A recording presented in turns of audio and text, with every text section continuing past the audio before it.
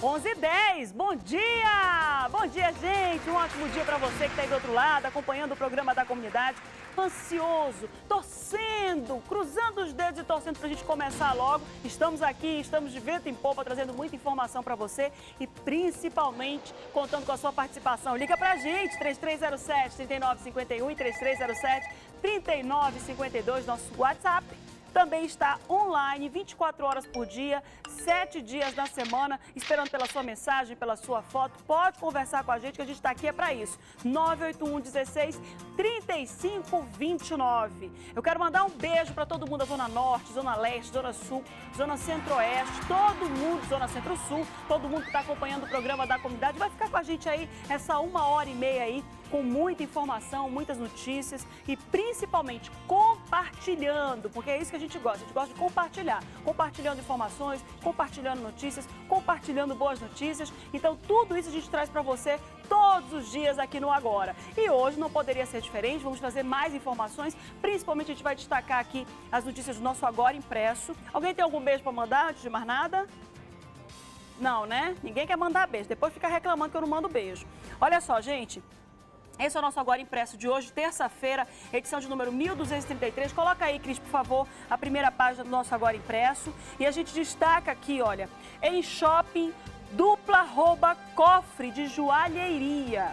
Dois homens armados com pistolas renderam segurança do Amazonas Shopping, na Zona Centro-Sul, e levaram e o levaram até a joalheria de Dona, né, que fica lá dentro do shopping, onde fizeram funcionários reféns e roubaram o cofre com joias do estabelecimento.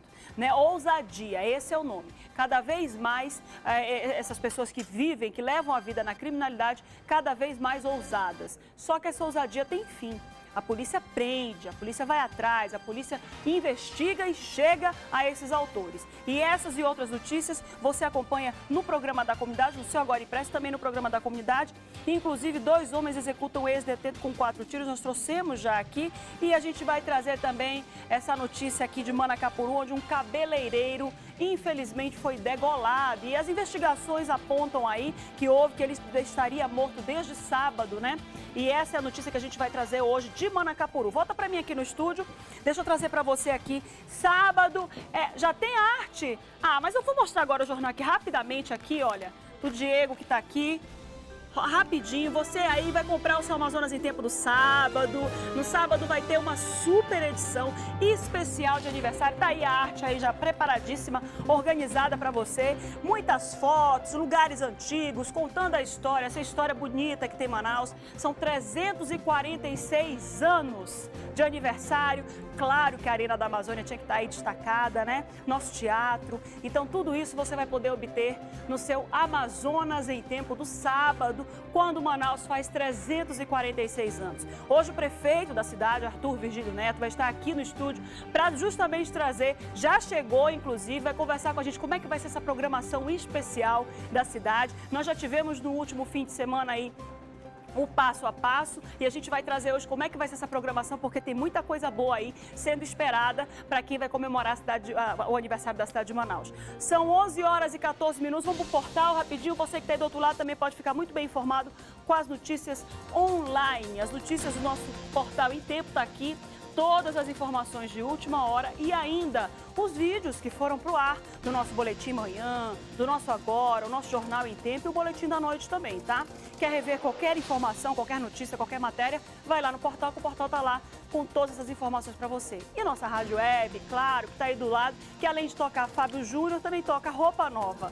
11 e 14, vem aqui comigo, Carlinhos, que eu vou falar dos destaques de hoje. Você que está aí acompanhando o programa da comunidade. Gente, olha só, mais um vídeo do delegado Daniel Trindade, que foi suspenso em junho desse ano por promover lutas entre presos em Juruá sem autorização. Dessa vez, ele foi aí flagrado dando bolos nos presos. Um pedaço de madeira enorme batia nas mãos e nos pés dos presos e é mais um escândalo envolvendo aí o delegado Daniel Trindade. A gente vai trazer também hoje no programa da comunidade um dos homens que mataram o sargento Elci é preso e diz que se soubesse que ele era policial, não teria voltado e atirado.